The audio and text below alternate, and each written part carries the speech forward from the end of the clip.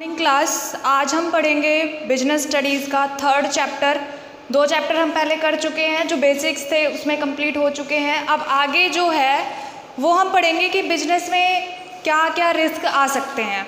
तो देखिए कि सबसे पहले हम पढ़ते हैं कि बिज़नेस रिस्क क्या है। What is business risk business risk refers to the possibility of inadequate profits or even losses in the business because of uncertainties तो इसका मतलब ये हुआ कि जो बिज़नेस रिस्क है, उससे हम क्या अर्थ ले सकते हैं कि ये एक पॉसिबिलिटी है? बिज़नेस रिस्क क्या है? एक पॉसिबिलिटी है ऑफ़ इनएडिक्वेट प्रॉफिट्स जिसमें हमारे जो प्रॉफिट्स हैं वो इनएडिक्वेट होते हैं, जितने हमने इमेजिन किए थे कि इतने हमारे प्रॉफिट्स आ जाएँगे, उतने हमारे प्रॉफिट्स नहीं आ पाते हैं, जिसकी वजह से हमें बिज़नेस रिस्क उठाना पड़ सकता है। और इवन लॉसेज और इसमें हमें लॉसेज भी उठाने पड़ सकते हैं इन द बिज़नेस क्यों उठाने पड़ सकते हैं? बिकॉज़ ऑफ़ अनसर्टेनिटीज इसका जो मेन कारण है, वो क्या है? अनसर्टेनिटीज अनिश्चितता. तो इसका मतलब ये हुआ कि जो बिज़नेस रिस्क है, वो किसका रिज़ल्ट है? अनसर्टेनिटीज जहाँ पे भी अनसर्टेनिटीज अनिश्चितता होती है, वहाँ पे एक रिस्क का चांस बन जाता है. एक पॉसिबिलिटी ऑफ़ रिस्क बन जाता है. तो देखिए, आगे देखते हैं. रिस्क चांस ऑफ़ लॉस जो रिस्क है, वो लॉस का चांस है. रिस्क एक लॉस नहीं है. ये ध्यान रखिएगा कि रिस्क कोई लॉस नहीं होता है, सिर्फ़ एक चांस होता है, एक पॉसिबिलिटी होती है. इट इज़ द पॉसिबिलिटी अब यहाँ पे जो हम पहले पढ़ चुके हैं, यहाँ पे अब मेंशन कर रखा है. Risk is the possibility of some unfavourable occurrence जो भी अनफेवरेबल रिजल्ट्स आते हैं, उसकी एक पॉसिबिलिटी है रिस्क ठीक है गाइज़ तो आपको यहाँ से पता चल गया है कि बिज़नेस जब हम कर रहे हैं तो उसमें हम बहुत ज़्यादा मात्रा में पैसा लगाते हैं, बहुत ज़्यादा मात्रा में वर्कफोर्स होती है, उसी के रहते, उस बिज़नेस में रिस्क भी रहता है। जितनी ज़्यादा हम कैपिटल लगाएँगे, उतना ही ज़्यादा हमें रिस्क उठाना पड़ सकता है। लेकिन इससे एक बात ये स्पष्ट होती है कि जितना ज़्यादा हम रिस्क उठाते हैं, हमें उतने ही ज़्यादा प्रॉफिट की संभावना नज़र आती है, उतने ही ज़्यादा प्रॉफिट्स की पॉसिबिलिटी बनती चली जाती है। नेक्स्ट देखिए, नेचर ऑफ़ बिज़नेस रिस्क, कि बिज़नेस रिस्क का नेचर क्या है? किन किन चीज़ों को हम इंक्लूड करते हैं, या किस किस तरीके से हम देख सकते हैं कि जो रिस्क है, वो हमारे किन चीज़ों को अफेक्ट कर रहे हैं? फ़र्स्ट है risk is the result of uncertainties जो रिस्क है, वो किस चीज़ का रिज़ल्ट है, किस चीज़ का परिणाम है?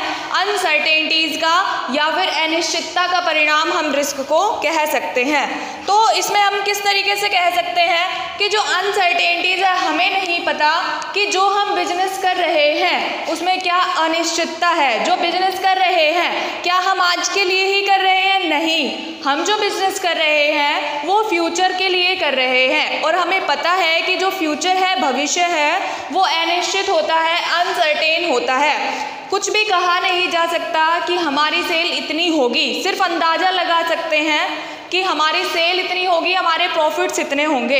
लेकिन जितना हमने अंदाज़ा लगाया है, उससे अगर हमारे प्रॉफिट्स कम रह जाते हैं, हमारी जो सेल्स है, वो कम रह जाती है तो वहाँ पे क्या जनरेट होता है? रिस्क का पॉइंट जनरेट होता है और वो भी किस वजह से? अनसर्टेनिटी की वजह से। एक अनिश्चितता रहती है, जिसकी वजह से रिस्क हमें यहाँ देखने को मिलता है।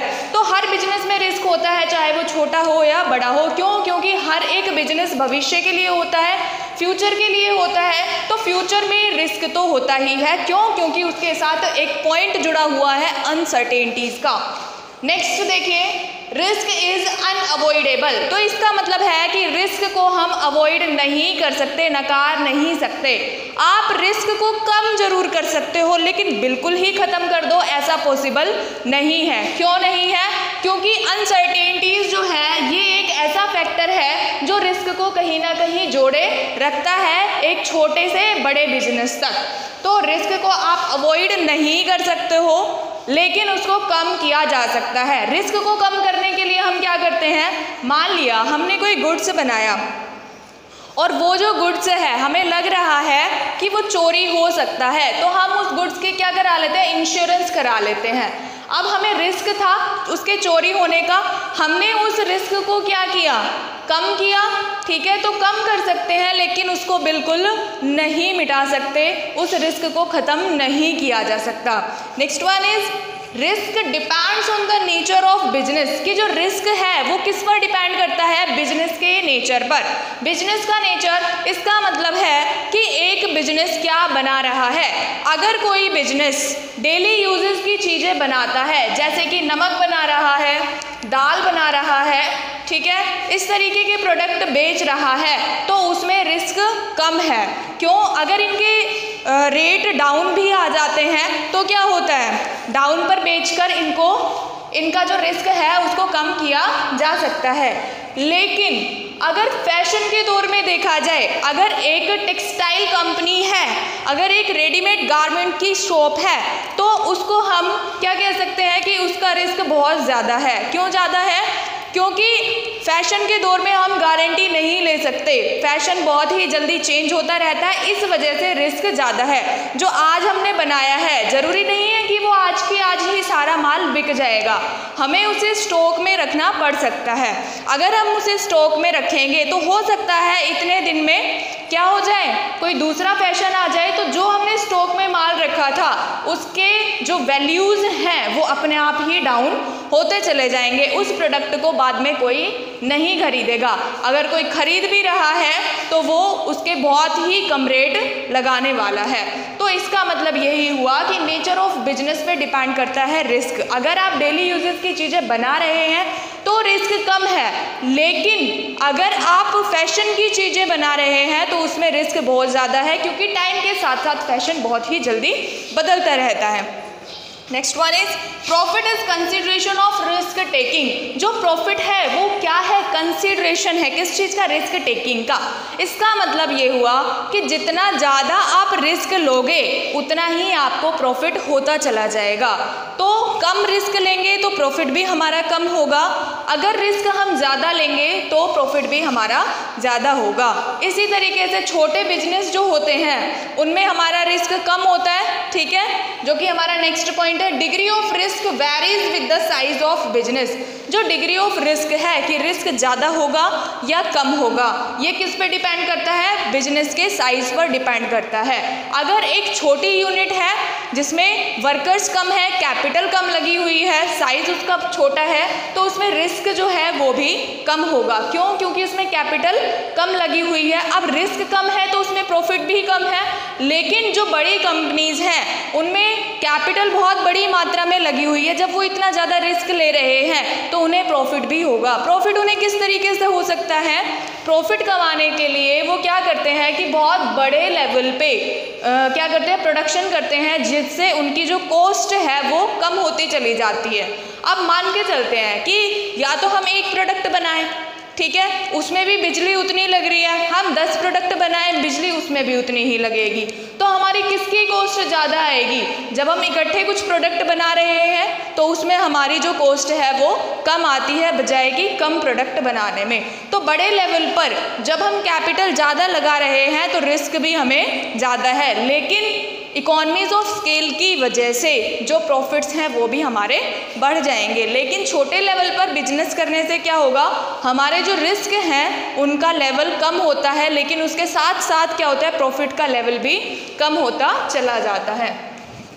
आगे देखते हैं कि जो बिज़नेस रिस्क होते हैं, उनके क्या क्या कारण हो सकते हैं? किस किस कारणों से वो बिज़नेस रिस्क होते हैं? तो आगे बढ़ते हैं causes of business risk guys ये चार्ट आपको दे रखा है तो इस चार्ट को हम स्टडी करते हैं। आई होप कि आप जल्दी से इसको लर्न कर पाओगे। आपको रट्टा नहीं मारना है, आपको लर्न करना है, आपको देखना है, समझना है, और समझकर चीज़ों को ड्रॉ करना है अपने माइंड में। तो देखिए कॉजेज ऑफ़ बिज़नेस रिस्क कि बिज़नेस रिस्क के कारण क्या क्या हो सकते हैं? पहला तो हम देखते हैं कि नेचुरल कॉजेज हो सकते हैं, ठीक है? नेचुरल कॉजेज का मतलब क्या होता है कि प्रकृति की वजह से हमें कुछ नुकसान उठाना पड़ सकता है। हमें, हमारे लिए, हमारे बिज़नेस के लिए कुछ अनिश्चितताएँ बन जाती है जो प्राकृतिक आपदाओं से रिलेटेड होती है। फिर है ह्यूमन कॉजेज कि मनुष्य से रिलेटेड कुछ ऐसी अनिश्चितताएँ बन जाती हैं, कुछ ऐसी असावधानियाँ बन जाती हैं, जिसकी वजह से क्या होता है, एक रिस्क बन जाता है बिज़नेस में।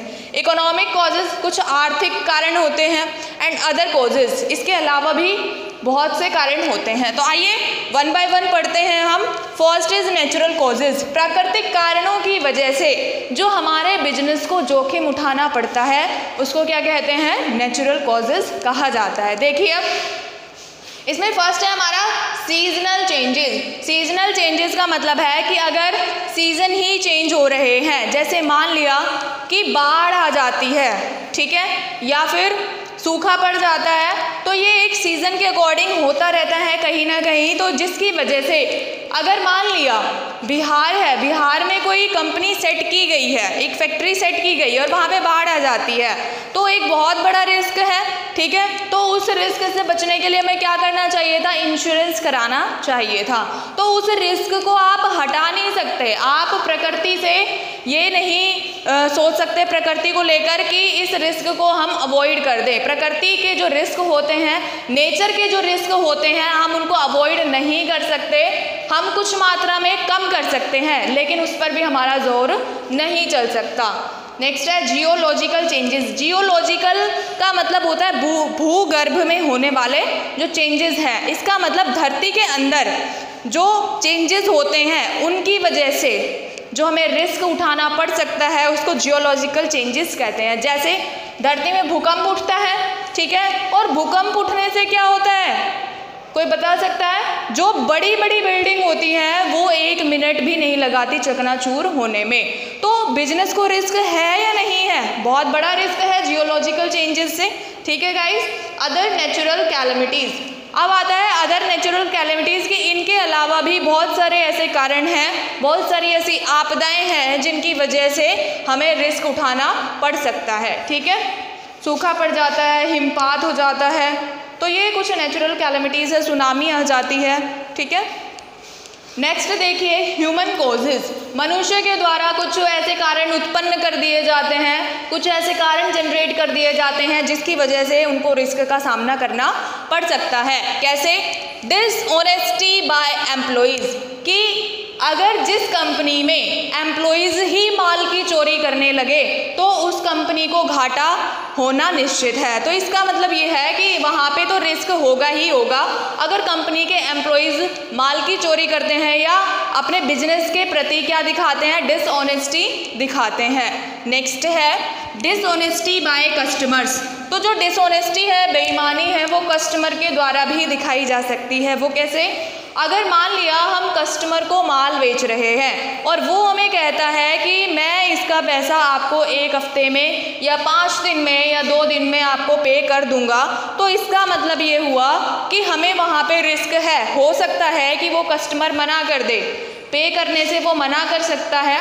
ठीक है? और कई बार क्या होता है कि दुकान में कस्टमर के द्वारा ही चोरी कर ली जाती है ग्राहकों के द्वारा ही सामान चुरा लिया जाता है। तो इस तरीके से अगर कस्टमर ही लॉयल नहीं होंगे अगर कस्टमर ही ऐसी आ, ऐसी हरकतें करने लगेंगे तो वहाँ पे बिज़नेस को जोखिम रहता है।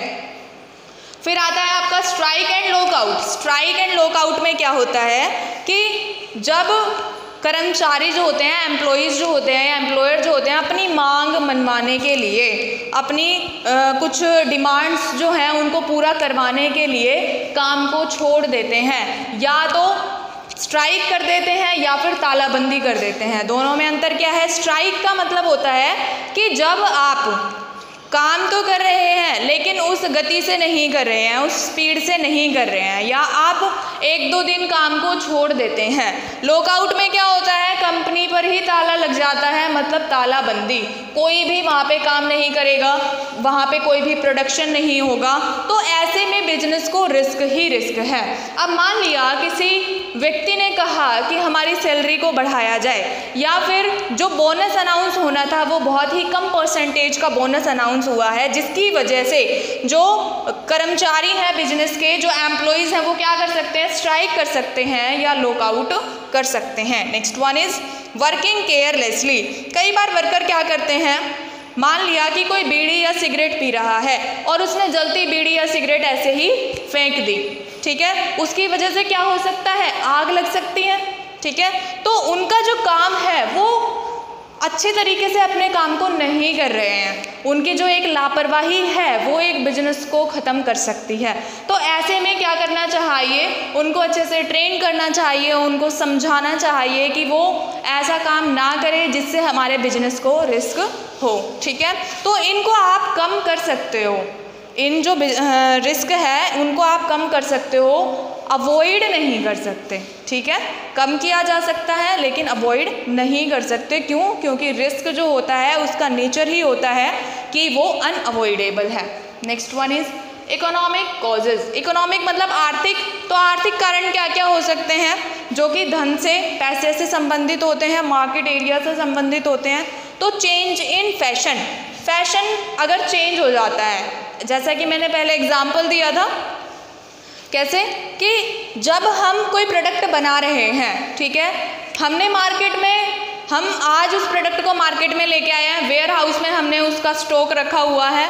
इतने में ही क्या हुआ? दो तीन दिन बाद ही हमारा स्टॉक बिका भी नहीं है। कॉम्पिटिटर्स कुछ नया प्रोडक्ट ले आए हैं, कुछ नए फ़ैशन के आइटम्स ले आए हैं, जिनकी वजह से जो पहले के प्रोडक्ट थे, वो बिकना बंद हो गए हैं। जैसे एक एग्ज़ाम्पल लेते हैं कि कलर टीवी आ जाने से ब्लैक एंड वाइट टीवीज़ जो हैं, वो बंद हो गए। ठीक है? तो ये इसका बेस्ट एग्ज़ाम्पल है कि फ़ैशन जो है, वो सब किसी चीज़ को चेंज कर सकता है, वो एक इकॉनमी को डाउन भी ला सकता है, वो एक इकॉनमी को बहुत ऊपर भी लेके जा सकता है, ठीक है? तो जो कॉम्पिटिटर्स हैं, वो हर एक कॉम्पिटिटर्स को ये देखते हैं, इस नज़र से देखते हैं कि वो क्या नया लेकर आ रहे हैं। वो अपनी स्टडी के साथ साथ क्या करते हैं? मार्केट सर्वे करते हैं और कॉम्पिटिटर्स की स्टडी को भी देखते हैं कि उन्होंने क्या सर्वे किया था। जिस वजह से वो क्या करते हैं? अपना कोई ना कोई प्रोडक्ट जो कि उनसे मिलता जुलता है। उसमें कुछ ना कुछ चेंजेस करके लाते रहते हैं ताकि वो बिज़नेस से आउट ना हो। Next one is change in prices change in prices का मतलब है कि हमारे जो प्राइसेस हैं वो कम या ज़्यादा हो जाते हैं। मान के चलते हैं कि हमने कहीं से प्रोडक्ट ख़रीदा था सौ रुपये का। और हमें वो बेचना था सौ से ज़्यादा में, तभी तो हमें प्रॉफिट होगा। लेकिन उसके रेट डाउन आ गए और हमें वो प्रोडक्ट अस्सी में ही बेचना पड़ा। तो हमें बीस रुपये का यहाँ पे क्या उठाना पड़ा? लॉस उठाना पड़ा। ये भी एक रिस्क है कि हमारे जो प्रोडक्ट के प्राइस हैं, वो अगर कम हो जाते हैं तो हमें बहुत बड़ा रिस्क उठाना पड़ सकता है। इफ़ेक्ट ऑफ़ कंपटीशन कंपटीशन का इफ़ेक्ट होता है कि हमारे कॉम्पिटिटर्स क्या स्ट्रेटेजी अपना रहे हैं। ठीक है, क्या रणनीति अपना रहे हैं, क्या प्लानिंग कर रहे हैं तो हमें उनकी हर एक चाल पर नज़र रखनी पड़ती है। तो जो कंपटीशन है, उसका इफ़ेक्ट भी हमें देखने को मिल जाता है। कंपटीशन में अगर कोई बंदा उसी बिज़नेस में बहुत ज़्यादा पैसे लगा रहा है तो हमें भी क्या करना पड़ेगा? बहुत ज़्यादा पैसे की ज़रूरत पड़ने वाली है। Next one is providing facilities to the customers कि कस्टमर को हम फैसिलिटी प्रोवाइड कराते हैं। कैसे? अब मान लिया कि मैंने एक शॉप कर रखी है और वैसी की वैसी शॉप किसी और ने भी कर रखी है। जो दूसरा बंदा है, वो क्या करता है? प्रोडक्ट बेचता है और उसके साथ साथ क्या देता है? होम डिलीवरी की सर्विस या फैसिलिटी भी देता है। लेकिन मेरे पास क्या है? मैं किसी को होम डिलीवरी की फैसिलिटी नहीं देती। तो प्रोडक्ट दोनों के सेम है सर्विसेज़ दोनों की सेम है। ठीक है? लेकिन एक जो पॉइंट है होम डिलीवरी का, वो हम दोनों को अलग बना रहा है। तो जो कस्टमर है, वो मेरे पास आएगा या उसके पास जाएगा? ऑब्वियस है कि उसके पास जाएगा, ठीक है? तो यहाँ से हमें पता चलता है कि जो ज़्यादा फैसिलिटी देगा, उसके पास कस्टमर ज़्यादा होंगे। अब ज़्यादा फैसिलिटी के चक्कर में हमें कैपिटल भी ज़्यादा लगानी पड़ सकती है और आपको पता है कि अगर हमें कैपिटल ज़्यादा लगानी पड़ी तो हमें रिस्क भी उतना ही ज़्यादा उठाना पड़ सकता है। Next one is other causes other causes में क्या है कि इन इन सभी के अलावा जो बाकी बच गए हैं, उनको हम अदर कॉजेज़ में डालते हैं। तो इसमें है फ़र्स्ट इज़ नेचुरल कॉजेज़ ये जो नेचुरल कॉजेज़ है, इस वाले नेचुरल कॉजेज़ से अलग है। किस तरीके से अलग है? नेचुरल कॉजेज़ मतलब कुछ प्रोडक्ट का नेचर इस तरीके का होता है कि आप उनको यूज़ करें या ना करें। उनमें एक कमी आती रहती है, जैसे सब्ज़ियाँ हैं। अगर आप उनको यूज़ नहीं करेंगे तो वो क्या हो जाएँगी? सड़ जाएँगी। ठीक है तो आपको उनको जल्दी से जल्दी बेचना पड़ेगा, वरना रिस्क है। आपकी जो पूंजी है, वो भी पूरी नहीं होगी। दूसरा है कि कुछ मशीन्स है, या फिर आप एक तरीके से लेकर देख सकते हो कि आपने कोई गाड़ी खरीदी। आपके पास दो साल रखी है। आपने पाँच लाख में वो गाड़ी खरीदी थी, दो साल तक रखी है। क्या दो साल के बाद आप उसको उसी रेट में बेच दोगे? नहीं, उसकी वैल्यू क्या है? टाइम के साथ साथ कम होती चली जाएगी। हालाँकि आपने उसको चलाया नहीं है, फिर भी उसकी वैल्यू टाइम के साथ साथ कम होती रहती है, ठीक है? तो ये नेचुरल कॉजेज़ हैं इसके। नेक्स्ट है टेक्निकल कोजेज टेक्निकल कोजेज में है कि आपकी टेक्निक ही चेंज हो गई है।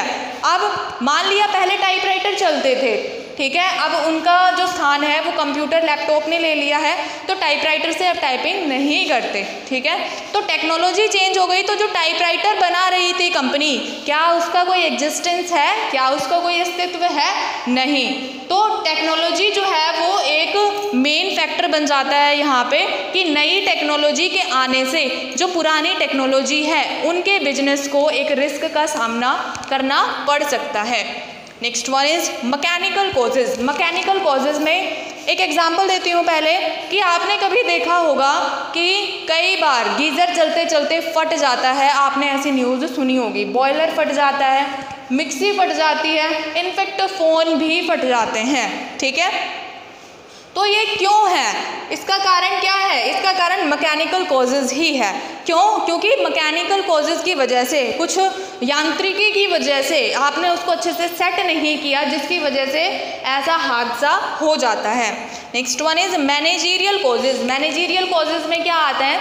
कि जो एक मैनेजर है, वो ही एक पॉलिसी बनाता है। बिज़नेस के लिए। अगर वही अच्छे से पॉलिसी ना बनाए तो हमें बहुत बड़े रिस्क का सामना करना पड़ सकता है। मान लिया कि वो एक सर्वे कर रहा है, जो मैनेजर है, वो सर्वे कर रहा है, उसने डिमांड का गलत अनुमान लगा लिया है कि इस प्रोडक्ट की डिमांड होनी थी 700 यूनिट और उसने अंदाज़ा लगा लिया 1500 यूनिट। तो 700 यूनिट जो हैं वो हमारी बिक जाएँगी, लेकिन जो बाकी की 800 यूनिट बचेंगी, उनको कौन बेचेगा, जहाँ पे बहुत बड़ा रिस्क हमें देखने को मिल सकता है।